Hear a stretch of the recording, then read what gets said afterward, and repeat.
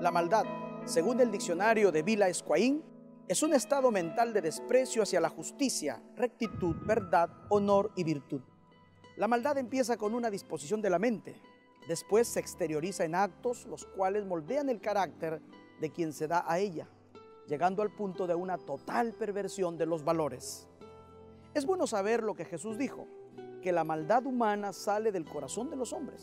Los malos pensamientos, los adulterios, las fornicaciones, los homicidios, los hurtos, las avaricias, las maldades, el engaño, la lascivia, la envidia, la maledicencia y la soberbia.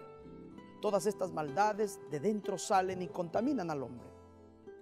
El corazón, neurológicamente hablando, es nuestro centro emocional, que se ve influido por factores como el temperamento, las experiencias vitales, educación, creencia y lo más importante de todo, la mente.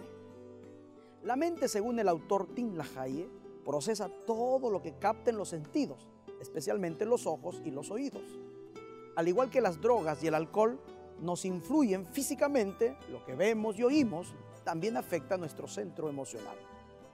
Si usted desea tener los sentimientos adecuados y benignos, vea y escuche cosas adecuadas para poder producir pensamientos adecuados y benignos. Pero si usted ve y escucha cosas inadecuadas y malignas, producirá pensamientos inadecuados que le harán sentir emociones malignas y que repercutirán en conductas llenas de maldad. La Biblia dice que si confesamos nuestros pecados, él es fiel y justo para perdonar todos nuestros pecados y limpiarnos de toda maldad.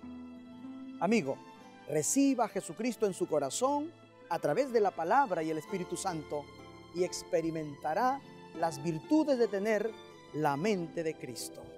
Que el Señor los bendiga.